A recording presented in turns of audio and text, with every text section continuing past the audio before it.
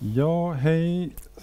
Hej och tack. Nu börjar jag prata svenska. Yes, I, mean, I don't know why I start speaking in Swedish. It's because I'm back in Stockholm, um, where I used to live, in this very neighborhood where we are actually sending this transmission from. So, welcome back to all of you. I hope you are refreshed and uh, had your coffee. I certainly did. Mm. We uh, had a quick breath of air also here.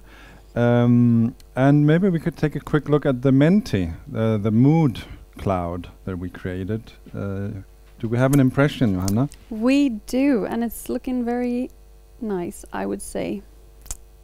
It seems that a majority of you think that it's been very informative so far and interesting. And also we see puzzled and good popping up a bit. And confused. We And managed to confuse some people. Yes. That's good. Indeed. Um, but yeah, we hope that we can remain informative and also, yeah, let's see what this cloud looks like by the end of the day. Uh, now we have a lineup of speakers from uh, not from all Nordic countries, but at least from from throughout the Nordic countries, from Iceland, from Norway, and uh, from Sweden. Uh, but to begin with, we have uh, kind of a Nordic representative in this context, uh, Harry Flam.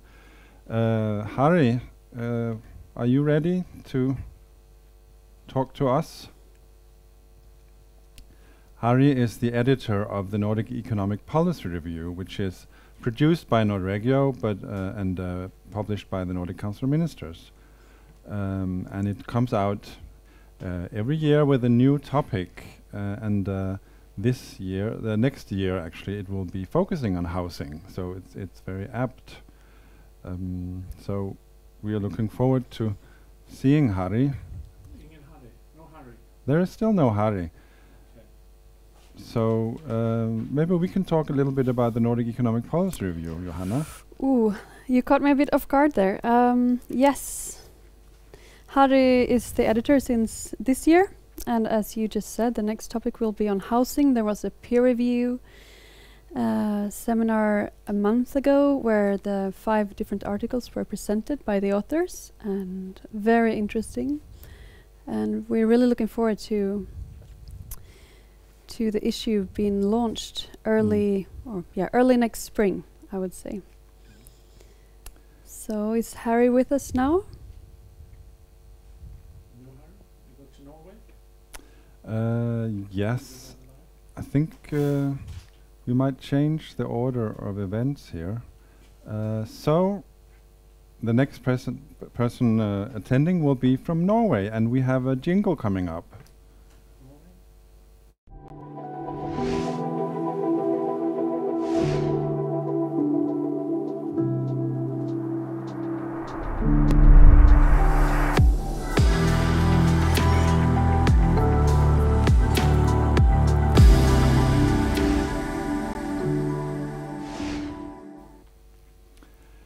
Yes, so joining us now, hopefully, from Norway is uh, Tina Sinclair.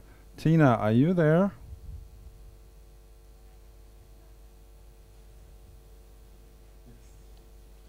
Hello. Hello there. Sorry to rush you into this. Uh, we we lost a participant along the way, but uh, glad right. to see you can join us here. So you are our first and only participant from Norway. So maybe you could start out by saying a little bit uh, about what characterizes the Norwegian housing market, also in light of our discussion so far. Mm. Well, uh, as it's already surfaced, the Norwegian housing market is uh, highly privatized and is in some ways the odd one out, maybe in the, in the Nordic context. Eight out of ten uh, Norwegian people own their own houses, even amongst the very young age group. Uh, and it's a very deeply historical and culturally founded uh, practice. It's almost so strong that it's uh, stigmatizing not to own your own home by the by the time you're 30 years. And there is a strong ownership policy supporting it, uh, going back to the interwar years. Uh, home ownership is subsidized with tax reliefs on interest, low property taxes, and, and various institutions like the uh, Housing Loan Bank Uh, so really ownership is encouraged and is uh, a lot cheaper in the long run uh, than uh, rental housing uh, if you can get into the market, that is. Can you, so, sorry to interrupt, but it's very hard to hear you. Can you maybe speak a little louder? Yes. I hope the Can you hear me technicians here. now? Sometimes we have a problem with the sounds here from the studio also. So, so I think we hear you better now. Good. Well, there is a concern, even though the ownership uh, line is still very strong and has uh, broad political support in Norway, uh, there is a concern now that we are seeing that this broad, uh, inclusive uh, home ownership is opening up a gap with people who cannot afford to come into the market, the third housing sector. These are people who have uh, uh, good uh, work jobs and uh, a wage, like, um, for instance, the nurses uh, that cannot afford to come into the market due to the sort of densification policy and the prices being driven up. So even though there is still a support for the ownership line, uh, there is a lot of concern and critique about how uh, one could intervene with the market and where the market fails, uh, both uh, legally and also with various different programs and institutions. Okay, so um, actually, what I should have said earlier, but forgot to say that the title of this discussion is actually post-pandemic houses in the Nordic region. Uh, and I know that uh, that this is something that you have looked into also. Um, so, um, from your point of view, what do you think could be the consequences of of um, of the pandemic of of uh, the COVID uh, in the f in the near future or in the longer term on the housing Well, markets? Hmm. Well, I think there are short and long horizons, and we are very much uh, in the middle of it still. Uh, but I think you could safely say that uh, even though Corona doesn't distinguish between people, uh, nevertheless it does seem to exaggerate and reproduce existing inequality. Uh, so the economic recession uh, has meant an individual economic crisis for many people, and also, of course, in business. But it has also affected the building market and has a more indirect effect of it. And I think it, it would be interesting to see if the green shift could do something in terms of contribute to adjust the post-market corona. For instance, uh, if uh, issues of redistribution and also quality by innovation could come into the picture. Uh, you could also see that this very steep digital leap that we made could contribute to, for instance, increased participation and uh, and higher quality. And I think the recognition is that uh, uh, the kind of measures taken to mitigate corona uh, has been uh, has taken a, a rather narrow perspective, and there are issues of public health to be considered now, and social, especially in particular to socio-economic groups like people with a disability, elderly, uh, young people, uh, and so on. Uh, that sort of interact with their lesser housing quality and their lesser mobility and uh, interact with isolation, for instance. So there's just as we discussed before the break with the non-functioning housing markets, there are these social gaps that that play in and that are actually um, ex exacerbated by, by by the pandemic. But you also mentioned the the green shift. Uh, what link do you see here between uh, like we talk about actually the, the the the phrase often used when we talk about the bouncing back after corona is to build back better. Of course, that's not just to do with housing, but but but what uh, connection do you see between the, the the green economy or the green shift, as you as you call it, and and uh, and housing in a, in a corona perspective? Well, I don't see. I don't think we see a link yet, but I certainly think that the emphasis now on shifting and transformation uh, and innovation, and also the way the design fields are allowed to uh, affect the method and the approaches to innovation, like for instance in the, in the emphasis on design-driven innovation, I think we could see that developing into something that would affect the housing market in unexpected ways. And it certainly would be a challenge that we would like to put to the private market in, uh, say, in, in the Norwegian context. So uh, maybe on a more uh, happy note, uh, I would also like to hear from you because you have actually been um, a member of uh, one of the working groups uh, that uh, are the backbone of this Nordic cooperation program uh, that we are celebrating today.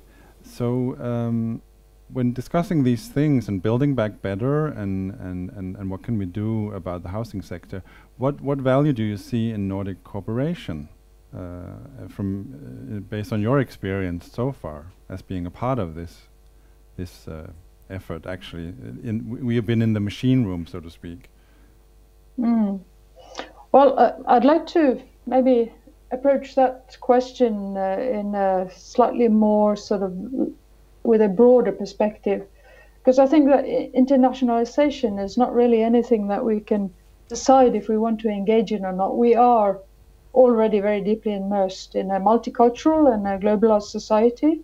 Uh, and I think that there's two axes which I think is important uh, in terms of the Nordic cooperation.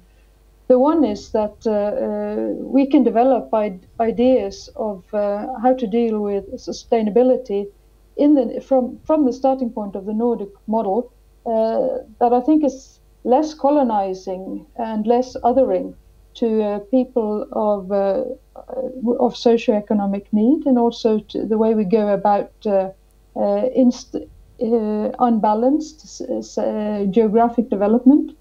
And I think also there is um, a Nordic neighborship strength that we have of trust and equality that we can use as a starting point to take a, a broader role on a global scale. Uh, I mean, the uh, Nordic cooperation has started to look to its neighbors out with, and maybe we can also take an even stronger role globally to uh, share with our resources in uh, development of knowledge and uh, research, uh, testing out things, ways ahead, so that we can take a much stronger role as a driver of transformation on a larger scale than just on the Nordic neighborship mm. context. That is something I think that has been addressed previously by the Nordic Council Ministers. Various initiatives have, have looked also even on construction and, and, and so on. So, so I think this is interesting feedback uh, also uh, for the politicians and, and to hear that there is actually um, a call for this. But maybe if we also if we take it back to Norway, um, you were also contributing to this uh, report that Moa mentioned earlier uh, about uh, affordable housing. Uh, can you expand a little bit on, on, on that from a Norwegian perspective? Well, there are several uh, there are several things happening now on the Norwegian uh, field. Uh, there is a new housing policy being forwarded to the government just this autumn, which looks into the the welfare housing as a as a a building block of the welfare policy. Uh, and there are also, on a smaller level, uh, several um, pilots going on, several smaller projects. There's also a, a, a proposal to put housing into the um, uh, the first paragraph of the planning law uh, to raise the issues of public housing and to raise the issues of inequality and the welfare connection to uh, policies of housing. So there is uh, some movement uh, on the. We, we talked about the the planning sector was uh, was so weak in Norway. That's one of the things that is mentioned in the report, at least. So so is there a movement on on that, or do you think are, are, are, are the planning tools? Do you get more planning tools? Well, we're hoping that uh, there is a shift towards uh, addressing the uh, shortcomings of the Planning Act. Uh, there was an ev evaluation of the Norwegian Planning Act uh, following the the um, law changes in 2008 and 9, uh, and some of the um, conclusions of it was that it gives the local authorities, which is the main uh, governmental operational uh, body for housing policy in Norway, that they have very little authority to deal with the kind of holes that the market creates, the third sector, as we call it. Um, and the municipal sector mostly is uh, has to lean on making alliances and make negotiations with the private initiated plannings. 80% of Norwegian detail plans are pri- privately initiated. Uh, so there is, this is very much in the air still, but there is a movement and there is a consciousness and a critique being raised uh, about these issues. So I think it's it's a promising horizon, although it's not uh, concrete yet. So things are on the move. That's uh, Definitely. that's that's positive. Um, I think we shall also be on the move uh, to the to the next speaker, who will uh, join us from Sweden.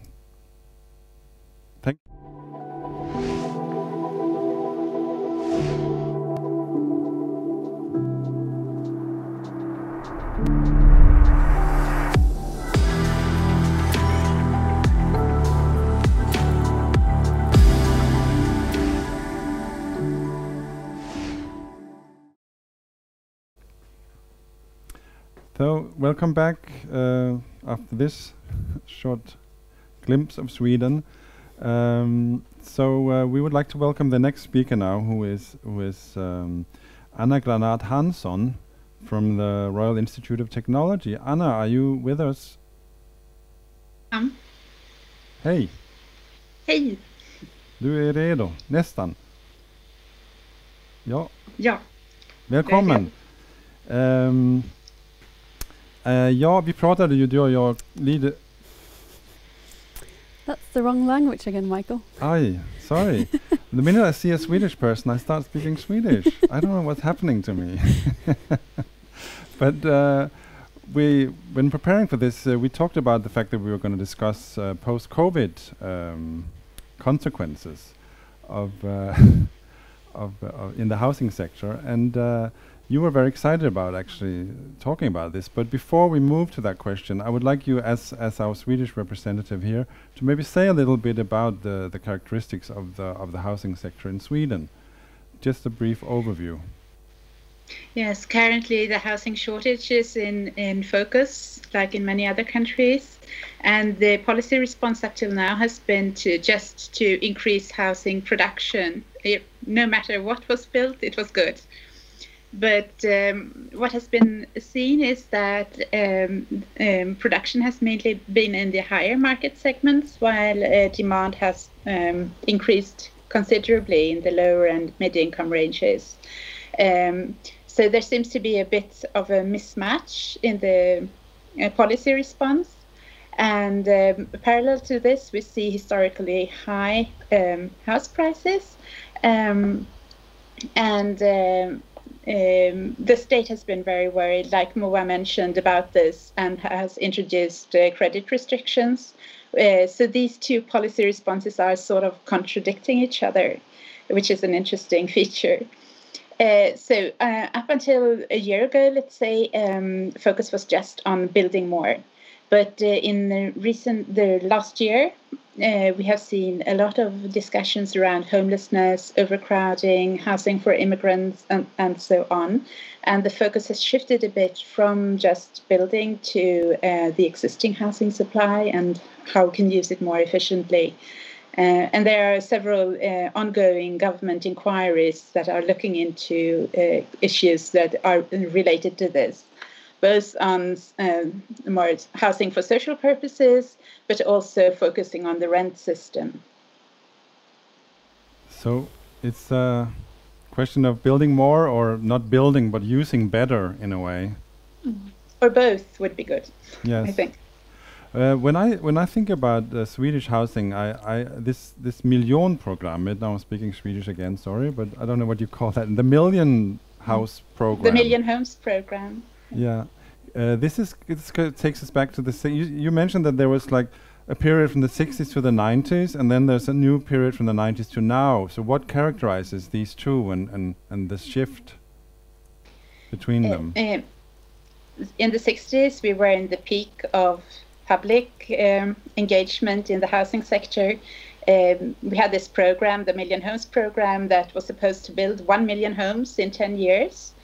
Um, and it was built um, very much on um, industrial production. I think all of you uh, recognize this from your own countries. Um, large scale uh, housing estates that turned out not with time was part of this program. It was not the only. One it was about a third of the program, uh, and in the end, uh, they built a lot of single-family housing, row housing, and so um, or terraced housing in English. Um, and then uh, in the 90s, we had a financial crisis, which um, um, induced a shift in, in politics. And of course, we also had a political change with the liberal government. Uh, and they just they had to cease subsidies to housing. It was a necessity of state budgetary reasons. Um, and then they repealed a lot of uh, regulations and public control of, of production, etc. So some claim we have some one of the most liberal housing markets uh, in Europe today. Yeah, we, we, we heard some criticism earlier about this. Uh, certainly, the price level, and, and, and also that that people simply cannot keep up. But but if we want to look at the, the, the COVID angle here, uh, so you have this this historical development. Now you have the housing sector that you have. It could be better, but uh, how do you think it will be affected? And and how will the COVID affect the, the planning traditions also, or, the, or will we need to plan differently because of of the pandemic? We're already discussing how this will affect uh, planning policy, and I think we have very interesting times ahead, because in most of the European countries, we have uh, had a very strong trend toward densification, building re- houses really close to each other in uh, large agglomerations. But now uh, we are seeing that this type of housing is not so attractive anymore. We see the attractiveness of cities uh, decreasing since there are fewer restaurants, the cinemas are closed, the theaters are not, not, not making performances anymore and and so on. So there is a, a double um, force to move out of cities. Uh, it's expensive and it's not as attractive as it used to be. So um, we, we are discussing will this uh, finally mean that we will lo- build lower densities in the cities? And will it mean a revival of single family housing? At least in Sweden, we have seen low production um, relative to multifamily housing of single family housing in um, the last decades. And I think that this could be a, a trend change. So before the break, we were discussing it was like the the, the trend. The cities are, are drawing all all the the money, and the cities. There's certainly, of course, urbanization taking place in the rural areas are really challenged. But now you're saying that this could be a, a game changer. It could could really rever help reverse that trend. It could be. It it remains to be seen. Uh, but we have discussed dig digitalization uh, for decades and what that could mean for rural areas and small towns and so on. And now we are proving that it's actually working to work digitally, and perhaps that will uh, um, finally uh, materialize and become a, a, true story. And I also think one thing that I think will change uh, quite a lot is the use of the car because the trend has been for a very long time that we should have very few or no cars in cities and towns. Uh, but I think that the corona crisis might um, uh, mean a push towards yes, we want the car, but it has to be in a sustainable way, mm. and to develop the tool rather than uh, abolishing it. So yeah, Tina also mentioned this link between Corona and and the green transition. So in a sense, I guess that's what you're addressing here. But another issue we discussed was this: uh, how will this affect planning in cities? Will we have to build cities differently? Will we need to make more space for people? Uh, will we need to um, create new, build new recreational areas? What what what what consequences could we expect? um, definitely you have to um, and um, create completely different towns if this is to be um, viable in the future. Um, you, if you cannot travel um, safely uh, over longer distances, we will return to the 18th century where, where the local community will be more important and all the gains that we have from from um, commuting and so on, it will um, yeah go decrease. And I think that would that would be a very sad um, development. But we have to start to think about that. Transportation will be a, a big uh, challenge. Mm. You make it sound almost like science fiction. It's uh, like we're, do you we change we're we're facing a whole new world. No, that was not my intention. I didn't want to paint the devil on the on the wall, like we say in Swedish.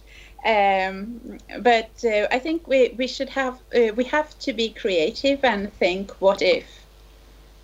Um, Mm. So that's I think uh, definitely a good line. What if? What what can happen? So that's definitely that's what we're discussing here today. So thank you very much to you, Anna, for for your contribution to this discussion and for joining us. Um, so uh, we will continue the discussion. Thank you to you, Anna. Our next speaker will be from Iceland.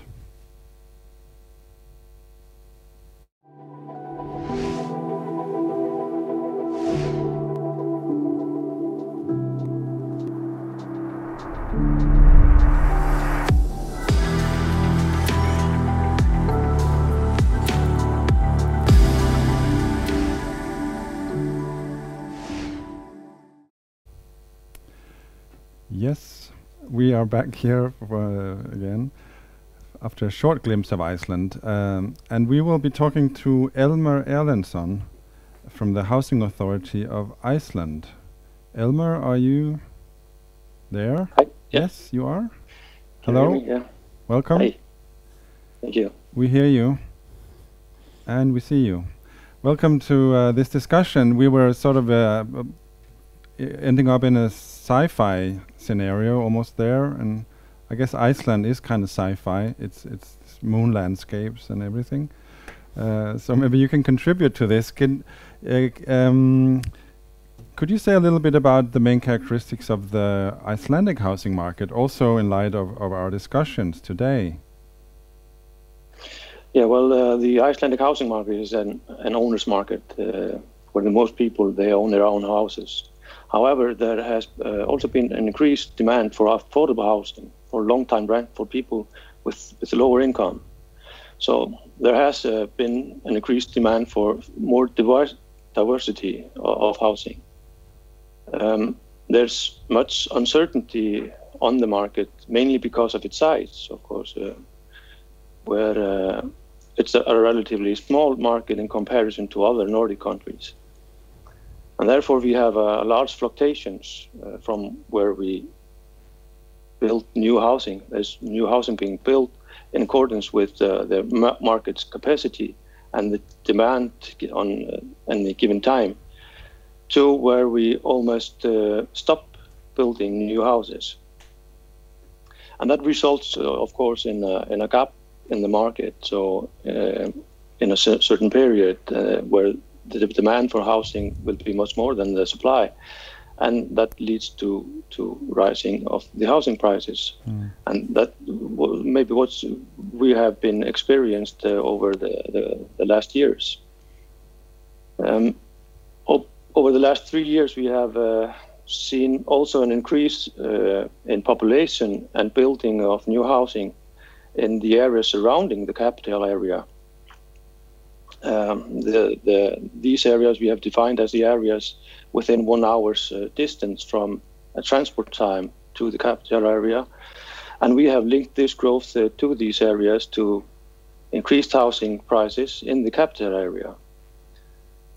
So and the main focus seems to have been building houses for the, the higher end of, of, of the market, uh, more expensive uh, apartments and stuff like that, where there has been an increased demand for more affordable housing uh, for mid-range or, or lower income people. Yes. So as we discussed also before the break, this issue of affordable housing is definitely uh, on the agenda.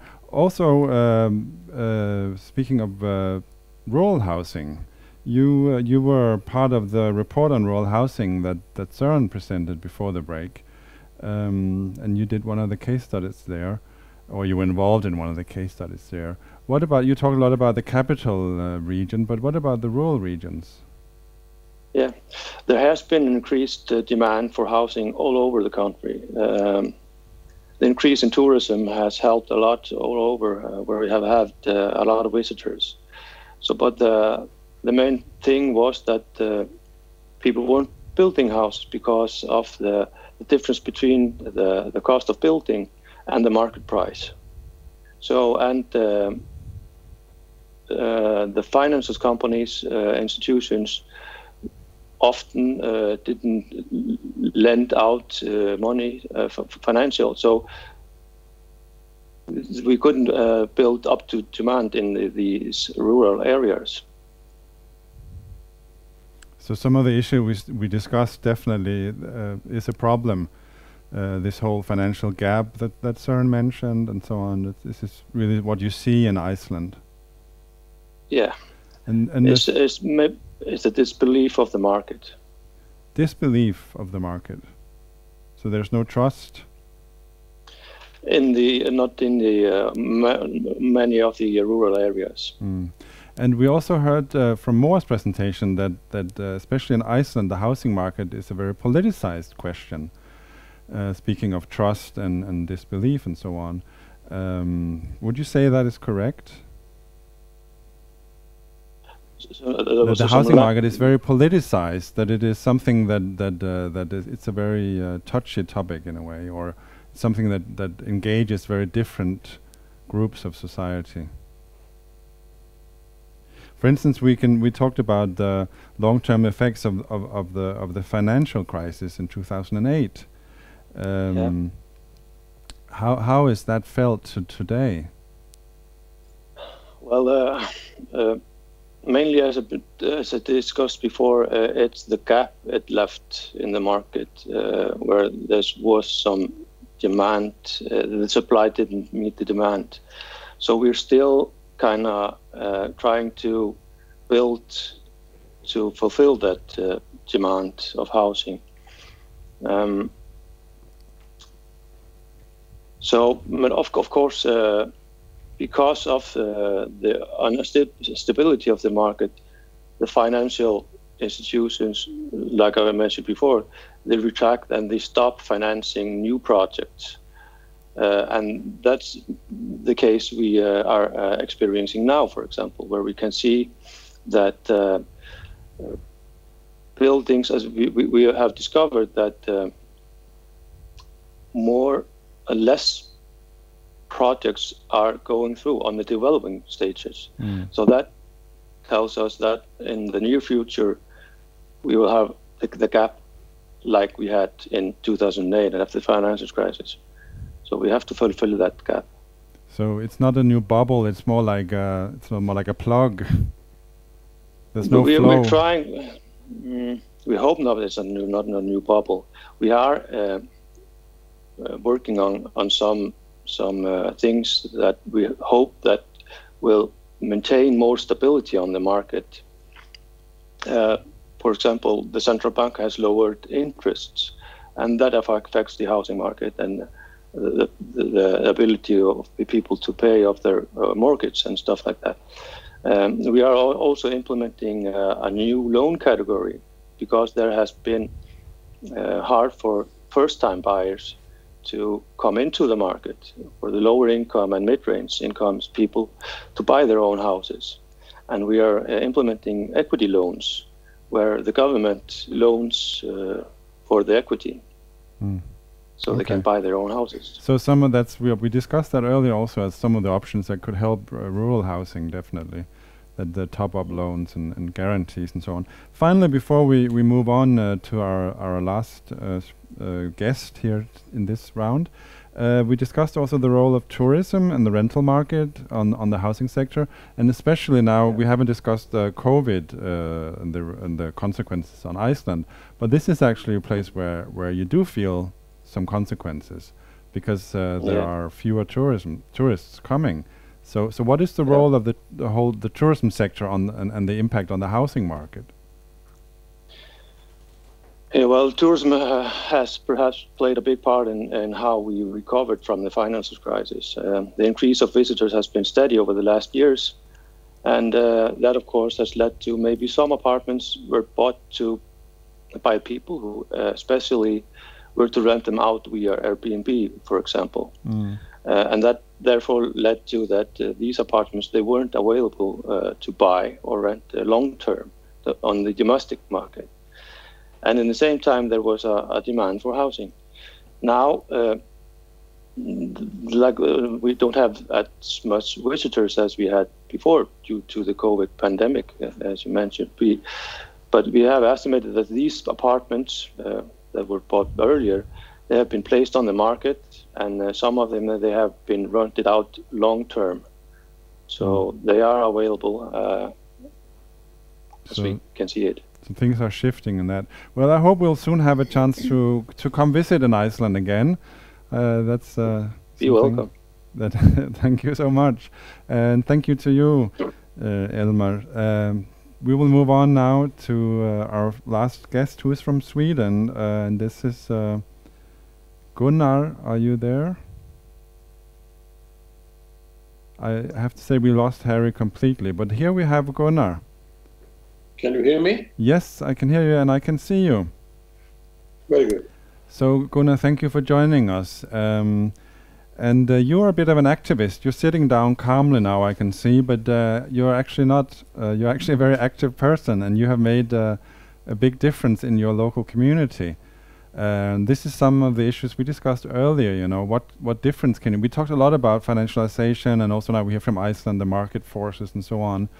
But uh, but to round up here, uh, it would be great to hear a little from you about what you have actually done um, in your community in Stavs- Stavsjö, uh, and uh, and and how you managed to make a difference there. I think you can tell the story better than I can.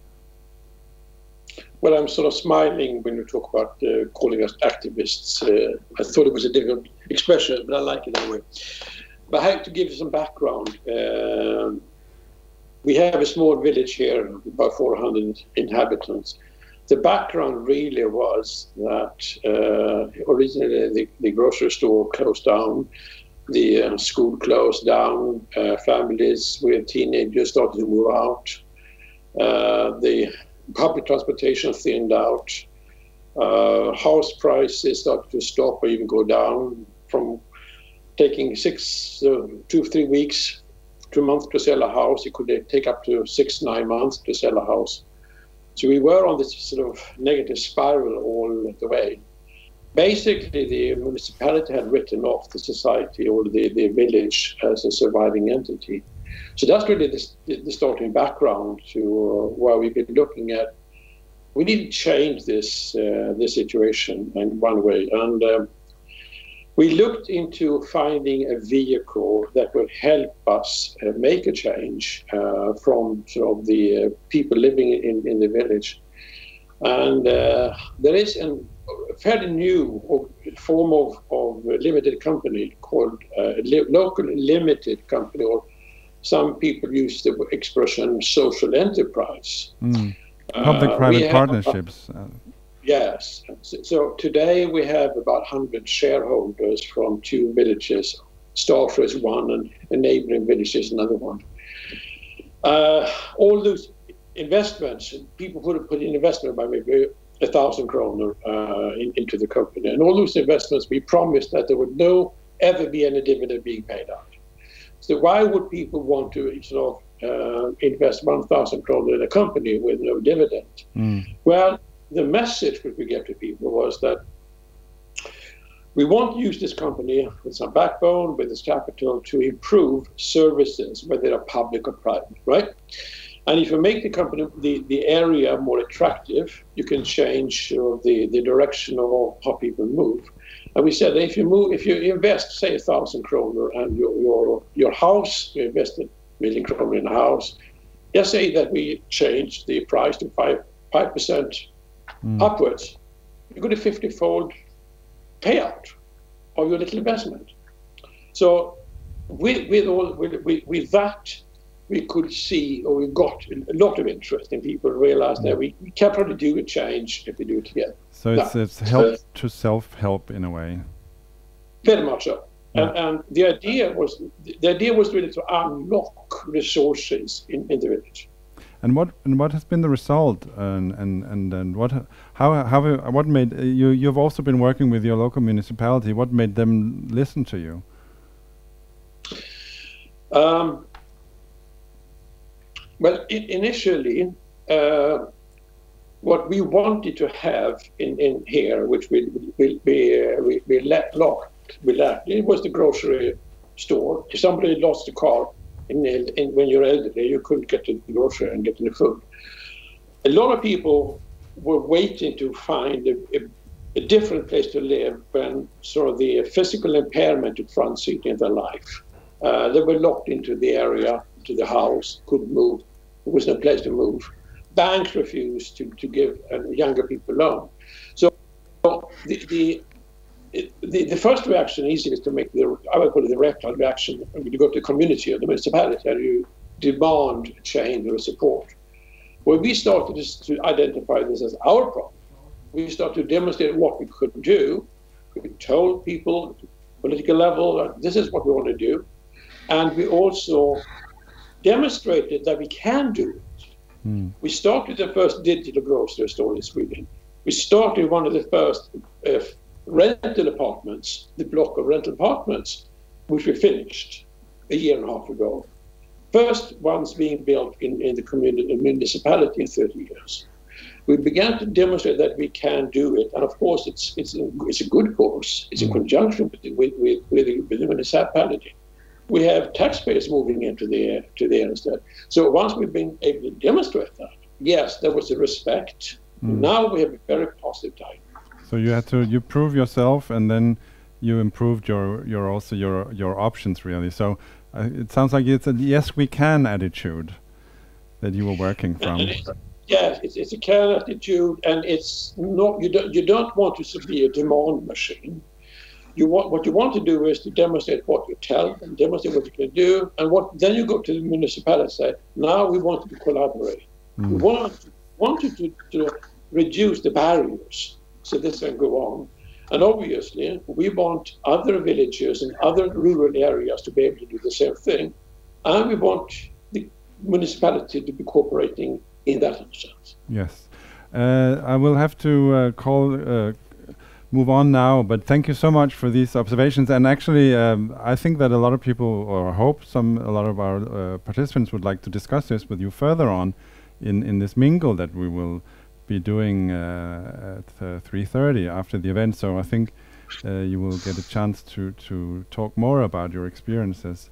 but thank you so much for this so far. and we will move on to the last speaker. But thank you to you, Gunnar. And to round off today, on a yes we can note, uh, we have the director of Nordregio, Kjell Nilsson.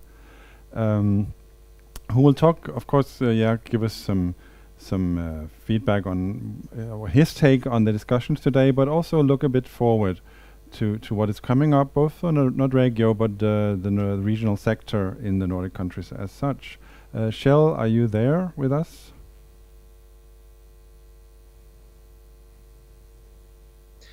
Yes. Yes. Uh, Hello, Kjell. Hello. a general reflection uh, when it comes to the the program today is actually that uh, the housing market today is a consequence of uh, a longer political trend of a liberalization. And uh, when we have a long trend of liberalization and uh, the market forces rule then, of course, there are some consequences of this. And uh, one of the most important negative consequences of uh, a very liberalized uh, housing market is uh, that we get uh, uh, segregation in different ways. Mm. Segregation between geographical areas and segregation within, especially the cities. And uh, this is, of course, recognized as an uh, important uh, political uh, problem by all governments in our Nordic countries. And then uh, what can you do about it? Yes, uh, the both reports that uh, has been referred to here uh, by the, the keynote presentations, they um, list a lot of different uh, options that are used by the, the Nordic governments today, mm. actually. And uh, as I see it, I mean, uh, what is normally the case is that uh, uh, it's not a quick fix to, to so to say, to mm. make it more easily for uh, vulnerable groups to come into the the the uh, housing market, for example. But it's a combination of different efforts, and there I think that uh, uh, the Nordic cooperation can uh, can be uh, quite efficient actually in uh, showing a, a, a kind of a a smorgasbord of different options. And mm. then uh, also we are trying to to uh, to evaluate some of the effects of different of these different options. Well, it's good to hear and that the uh, work of Nordregio is used uh, by the governments first of all. But but uh, could you maybe elaborate on on the work ahead then, some of these options that you yeah, mentioned? Yeah, yeah. yeah. I, but first, I, I just like to comment uh, that I also voted in these different measures, and I think that one example of a state intervention that I think is uh, is very good is this uh, with the top loans that you can get 80% uh, of the construction cost in in Iceland, for example. Then it was somewhat surprising, as you also mentioned, that maybe then you looked at the other Menti question, uh, which was most, most efficient. It was actually the local initiatives that were lifted in front. And I think, of course, the municipalities and local groups like uh, uh, Gunnar uh, Kasselstedt's uh, example, the last one, uh, the ability to help yourself mm. with bottom up initiatives is a good complement, but I think that we will see further uh, actions from uh, the governments actually to to avoid some of the negative consequences. So we need structural changes. Uh, yeah, yeah, in some cases, yes, mm. and that will probably come uh, sooner or later. Uh, next steps, uh, what's happening? Two things have mm. been mentioned here uh, already. Uh, of course, when I say that a negative consequence of, uh, so to say, a problem on with the housing market is that uh, that uh, the problem of segregation, and in that case, the the next uh, session of Nordregio Forum is actually dealing with mm. efforts to to fight segregation in our cities. Yeah. Uh, so that is one, and the other, uh, uh, unfortunately, Harry Flam uh, was not able to participate here in the afternoon, uh, but uh, he, it was mentioned that he's chief editor of Nordic Economic Policy Review, mm. and there uh, the different chapters in that issue, which will come next year, will uh, focus on uh, different economic effect of different housing policies mm. or, or economic or economic measures re, regulating the housing market. Mm. Uh, when it comes to the further research job and and the development within the the uh, uh, Nordic Council of Ministers, then in the new cooperation program for regional development and planning, uh, there is definitely a clear focus, especially actually on the housing problems in the cities, and a little more focused on uh, uh deprived areas or mm. problem areas and the effects of different matters on how to deal uh, with them. So that is uh, there is one of the focus areas that the thematic group on green and inclusive urban development will Mm. focus on. So as you mentioned, Yes. that will that will actually will come up in the next Nordregio forum, and we have to round up uh, off this one.